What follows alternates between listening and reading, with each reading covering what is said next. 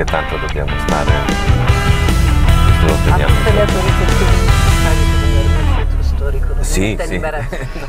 Benvenuta Gea Schirò all'Abitacolo. Gea Schirò è una parlamentare del Nessuno Partito perfetto, Democratico. nessuno è perfetto. Nessuno è perfetto, lo dice perché diciamo, è un po' inquieta in questa No, legislatura. no, no, no, lo dico in modo autoironico perché in questo momento essere deputati un tempo Ah, per era- deputato, non per Sì. Partito Democratico. Ci siamo appena arrivati. Ma ci mancherebbe Eh. altro, ma ci mancherebbe altro, non, eh, quella è una fortuna. Però ormai l'ho detta, è un po' inquieta, nel senso che non è stata eletta nel Partito Democratico, è stata eletta in scelta civica, che è un gruppo che si è un po' sfaldato. Il, il gruppo eravamo una Ferrari di 50 deputati con scelta civica, siamo diventati 15, 16 insomma, deputati abbastanza influenti sul piano della, eh, del potere incidere sulle, della presenza parlamentare da una parte. Questo Ferrari mi sembra un po' troppo. eh beh, per me Allora Monti è una PD Ferrari. è una portaaerei. Sì, eh beh, sì. sì. Vale, però Le- Mario Monti vi ha abbandonato subito al vostro Quello è, destino. stato, quello è stato un grande dispiacere, una delusione eh, umana, politica, io avevo creduto moltissimo.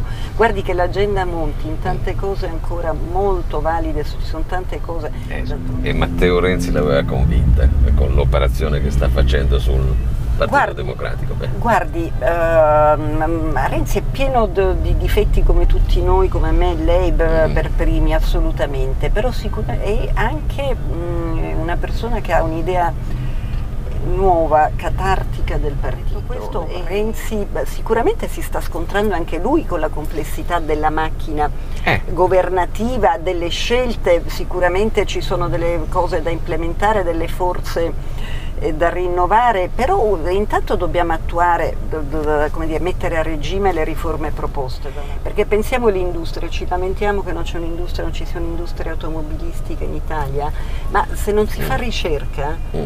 come fai a fare industria? Se non c'è studio, come fai a fare innovazione?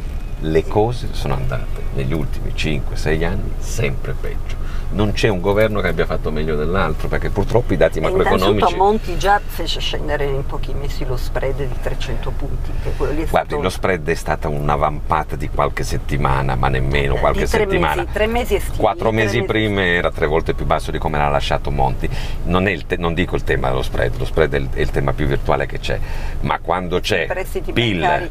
Eh, la disoccupazione, cioè tutti gli indicatori macroeconomici che fanno la realtà economica di un paese che vanno giù Sì. e che si distanziano, perché questo è il vero tema, sempre di più dalla media degli altri competitori della Ha ragione, UE, è eh, vero, ma è Vuol dire che falliscono. Allora perché falliscono? Il dramma è ancora, l'Italia ha una situazione Glielo ancora più grave perché che lei, la differenza diciamo, tra nord e sud. Bravo. Però in famiglia c'è un. Sì, sono filosofo Eh, anch'io. ma- In famiglia, in famiglia però eh, c'è anche un'impresa, quindi diciamo Sì, mio marito è un imprenditore, imprenditore. E, e a lui va benissimo, però perché è stato bravo, intelligente e è che ma è un settore non- che qualche soddisfazione dà. Appunto, Mm. e, ha iniziato in tempi non sospetti e beh, devo dire in tempi di crisi per, Mm. per lui sono cresciute da, da- da tutto, esportazione, ha lavorato, lavora come un matto, poverino, ma è bravissimo. E, beh, e va bene, lavora sull'estero, rischia, beh, come lui tantissimi imprenditori per bene, per bene e onesti in Italia.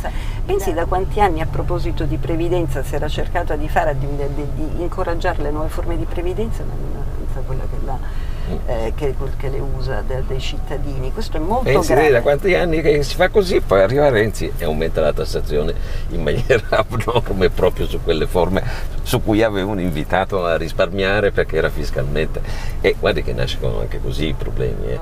Guardiamo oltre, guardiamo avanti. Io ho piena fiducia in questi mm, giovani leader Eh, perché però sa, questo tema qui di fondo, che se facciamo un patto io e lo Stato, lo Certo. violo io, finisco sempre nei guai, lo violo lo Stato, passa Ha in cavalleria e non è così simpatico. eh. No, lei ha ragione, perché l'Italia del dopoguerra, le famose, la famosa edilizia scolastica che tanta retorica definiva orribile, era il simbolo del patto condiviso tra i cittadini e lo Stato del dopoguerra che ha permesso che una- un'intera generazione crescesse, beh, ci portasse il boom economico e oltre.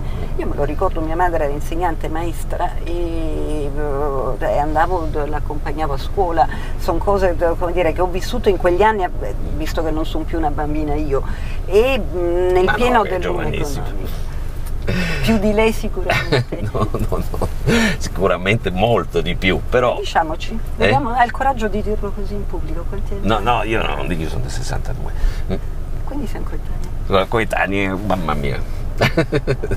e allora sembra molto capelli. più giovane. No, Lei i capelli non posso più farli crescere. e si metta gli occhiali da vista.